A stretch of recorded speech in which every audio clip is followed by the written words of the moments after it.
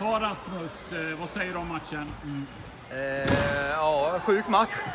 Eh, fruktansvärt eh, kul match att spela inför, eh, ja, jag vet inte hur mycket publik det var riktigt där, men 1150 pers. ja, det får man ju säga att det är mycket publik i division 1-match. Bra tryck på Eh. läktaren. Ja, mycket bra tryck på läktaren tycker jag. Eh, och framförallt så fick de ju se en väldigt rolig match. Vad, vad tänkte du när de gjorde eh, 7-6? Ja, det var ju fruktansvärt tungt. Det kändes som vi slarvade där vid... Sen hade vi, var det 10 sekunder kvar tror jag, så hade vi ju frislag i hörnet där sen. Men tekning eh, var det med tror jag. Eh, teka bak den till Bernhardsson som bara slänger över den till eh, en fri Gustav som står och trycker in den i nättaket. Eh, det kändes eh, oväntat ändå. Ja. Sudden vad säger om den? Ah, Vad sa ni innan sudden? Nej, vi sa bara att vi skulle gå ut och våga där, köra vårt spel, så visste vi att chanserna skulle komma där ute. Eh, de slarvade ju en del som vi, vi kunde ta tillvara på. Jag tycker vi var bättre laget. Både med boll och utan boll egentligen. Eh, så vi visste att vi skulle få läge och sen så när vi fick den så sa vi bara att vi skulle trycka dit bollen. Och vem tyckte det? Ja, det fick ju bli jag den här gången.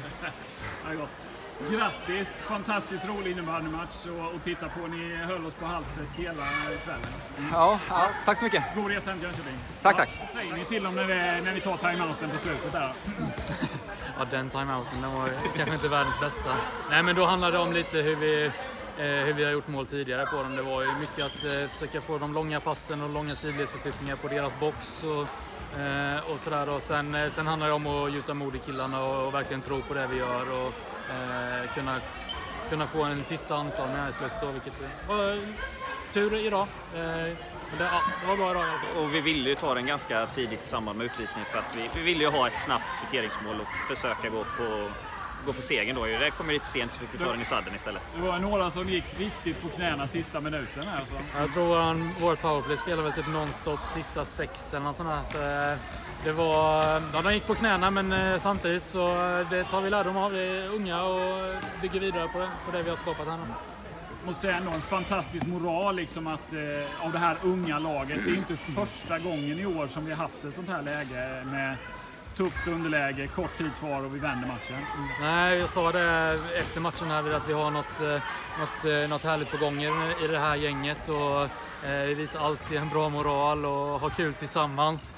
Så eh, nej, men det, vi, är- vi är nöjda med, med serien så här långt. Ja, Gustav Johansson. Eh, ja, vilken match, vad ska man säga? Vad säger du? Ah, helt sjukt. Skönt med två poäng. En poäng där. Ja, det kändes ju som vi skulle åka härifrån utan poäng. Det gjorde det. Var, var det? Två sekunder kvar eller någonting. Men det gäller ju att vara kylig så går det hem till slut. Vad, vad hände egentligen? Vi hade ju ledning men eh, de kom ikapp hela tiden. De var duktiga. Eh, Bra tryck här inne, men eh, till slut så hittade vi väg att vinna. Och det är starkt av det här laget, för det är inte första gången det händer. Hur, hur, vad tänkte ni när det var timeouten här på slutet? Ni ligger under med 7-6. Nej, men eh, vi visste att vi skulle göra mål, så det var inga problem. Vad sa ni då? Vad sa, vad, vad sa eh, tränaren? Vi sa, passa den som har bäst läge så skjuter vi ner upp ett mål. Ja, och du, du tvekade inte en stund? Nej, det var ju öppet så. Jag bara satte dit. Ja. Ja. inför sadden hur gick snacket? Nej, men det var väl klart vi skulle, att vi skulle gå för eh, en poäng till, eller till då och eh, vi gjorde det liksom så det var inga problem.